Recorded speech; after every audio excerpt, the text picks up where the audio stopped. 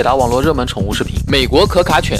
温馨提示：本期主角是漂亮国人曾引以为傲的改良犬种。事实上，作为宠物犬，也确实优于英国可卡犬。所以这期我就不推荐金毛了，嘿嘿。问题一：美卡的起源。美卡是个几乎没有历史的犬种。十七世纪，英国人就带着英卡前往到达了美洲大陆，整整待了两个多世纪。直到十九世纪，漂亮国人才开始研究改良英卡这个犬种，很快改良出了符合漂亮国人审美的美国可卡犬，并在一八八三年参加了第一次犬展。在美卡繁殖者的不断努力下，一九三五年，可卡犬被 AKC 正式分离成英国可卡犬和美国可卡犬，并在第二年开始了同台展示。但英国人一直很抵制美卡，直到一九六八年才宣布认可美卡。我怀疑英国人就是被迫承认的，但是我没有证据，所以当我没说。问题二。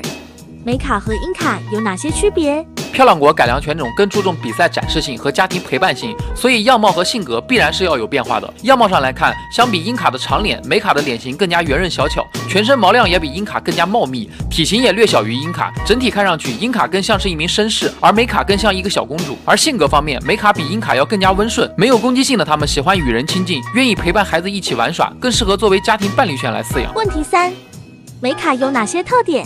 美卡是个懂得利用自己智商的犬种，表面看它很愿意陪孩子们一起玩耍，实际是它需要孩子们陪它一起玩耍来释放自己的充沛精力，所以它的性格格外温顺粘人，对人热情友好。在完美继承了英卡智商的同时，美卡在情商方面也更接近它的大哥大史宾格。它会很机敏地观察铲屎官的情绪变化，铲屎官开心时它会放肆玩耍，铲屎官繁忙时它会默默陪伴，而且它对待其他动物也时刻处于友好状态。就这么一个人畜无害的狗子，难怪一直霸占漂亮国最受欢迎犬种排行榜前列。总结。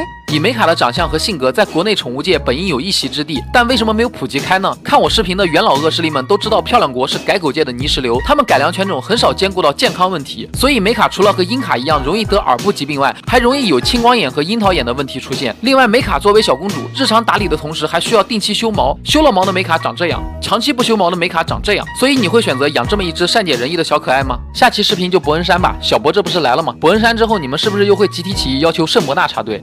真是不敢想，我是霹雳新爹，有问题评论区艾特我，respect。